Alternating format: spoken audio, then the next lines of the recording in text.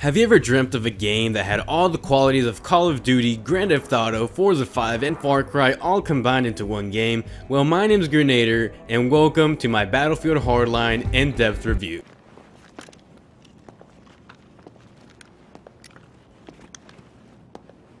Think we hit the mother load. That's $9.9 million worth of coke. Uh, what are you, drug Rain Man? Come on, let's leave it for the cops. I'm not letting cops take this. Then what are you gonna do with it? We're in Los Angeles. I can unload this in six days. This year, DICE and EA decided it was time to change the formula, yet keep the main ingredients the same. Usually when companies make moves like this in the gaming industry, things go bad and games turn out as failures, with little to no innovation. However, Battlefield Hardline changed the trend and proved to others that change, if done correctly, can make a difference. Battlefield Hardline was originally set to release on October 21st, 2014. However, due to public feedback during the beta, DICE and EA decided to delay the release date to March 17, 2015, and I'm very glad they delayed the game. Battlefield Hardline quickly became one of my favorite games of all time, therefore yet again proving my theory that if gaming companies needed more time to work on a game, they should delay the game and release when they're ready, rather than shoving out a buggy and defective game just to put the game on store shelves. That not only ruins the game title, but it ruins the trustworthiness of a company. Moving on to the game content itself, Hardline offers a brand new and refreshing campaign that is action packed. The episodes or levels are set up in a way that flows chronologically, rather than past battlefields where the campaign levels skip around the storyline. Now, you're probably wondering how the other games I mentioned are incorporated into the game. Well, Hardline mixes Call of Duty's fast-paced gameplay with its own version by slightly reducing map size and creating game modes that naturally create action. Hardline also uses Grand Theft Auto 5's Cops vs Robbers theme with a Battlefield twist to it.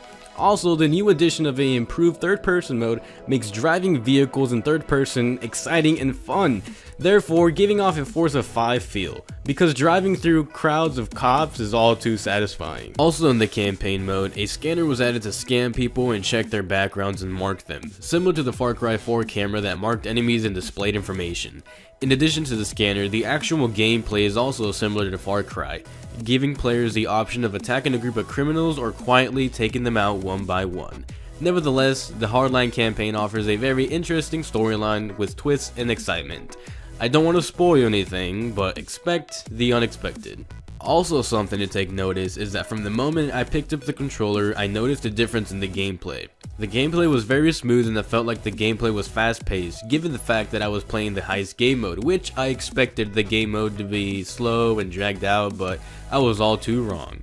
Now something I think we can all agree on is that DICE and EA usually stuck around the military theme for each and every single one of their games, so therefore Hardline with its new Cops vs Robbers theme suits the game very well and refreshes the series. And not only that, but Hardline also has new and improved game modes.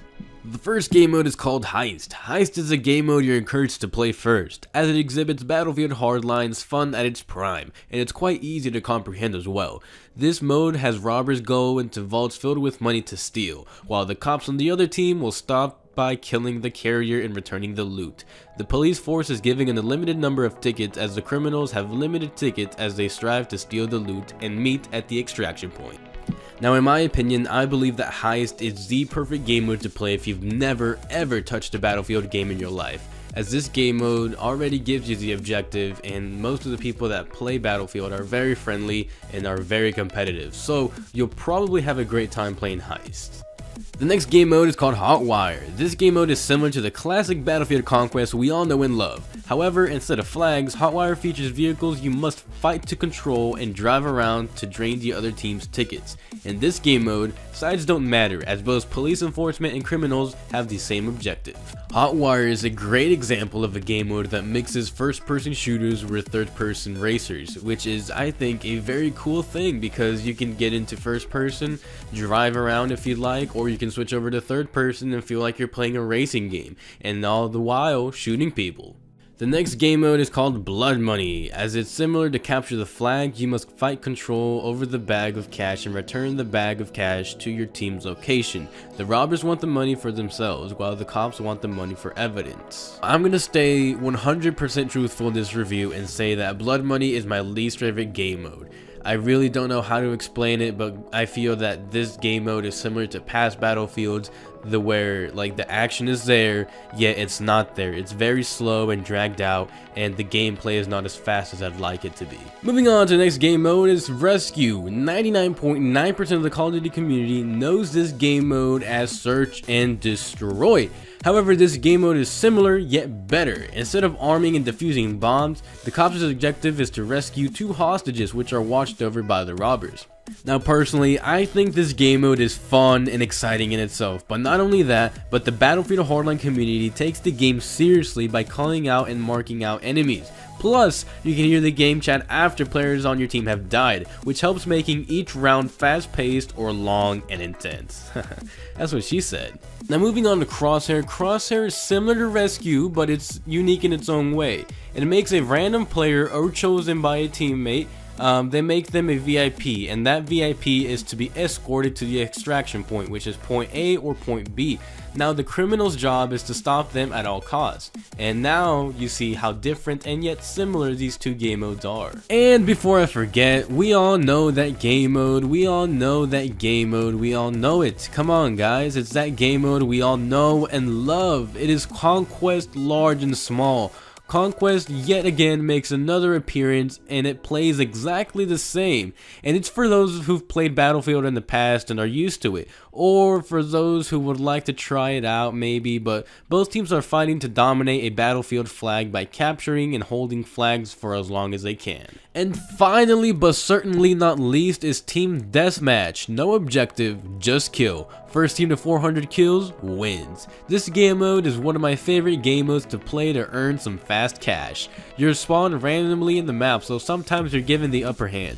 So to be honest, there's no game mode I hate, but there's certainly my favorite game mode, which would be Rescue. Now let's talk about the cash system in Hardline. You're given the option to balance your money or to spend it all on that gun you've had your eyes on.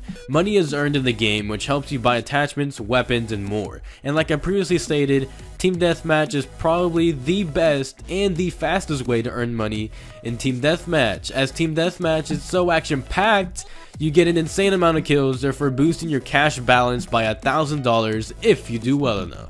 So now that you've racked up all that money, it's time to spend it, dude. Now, customization has also been a huge contributing factor to the game's success, as it's very in-depth. You can customize everything from your agent's uniform to the attachments on your weapon, with some custom camos available. Now, something that must be noted is that both criminals and law enforcement have different weapons, therefore giving you 4 agents you can fully deck out. Now I mentioned that you could get some custom camos, and by that I mean that battle packs are back and just easier to earn. Just forget that they're even in the game and next thing you'll know, you'll have a ton of battle packs. Battle packs are earned by weapon progression and sometimes just randomly thrown at you. Through these battle packs, you can unlock crazy camos, useful items, and in-game boosts. So in summary, Battlefield Hardline is a brand new refreshing game that will take you forever to finish discovering. So if you're looking into buying a new and refreshing first-person shooter that will last you a long time and keep you busy, then go get this game. Hardline is nothing unlike its predecessor, so if you've played Battlefield 4, which was a disaster, play this game to completely forget about that horrible game. Battlefield Hardline blows Battlefield 4 out of the water with truly innovative gameplay and was definitely worth the wait. Thank you so much for watching my review, this means a lot to me. So if you enjoyed this video, make sure to let me know by hitting that like button and leave a comment down below as well with your thoughts. If you'd like to see more reviews like this, leave a comment down below as well. And if you have Battlefield Hardline for the Xbox One and want to play with me, add me on Xbox at Grenader0001. And if you're new to my channel and enjoy my content, make sure to subscribe and follow me on Twitter at Grenader0001. So as always, thanks for watching and I'll see you in the next video.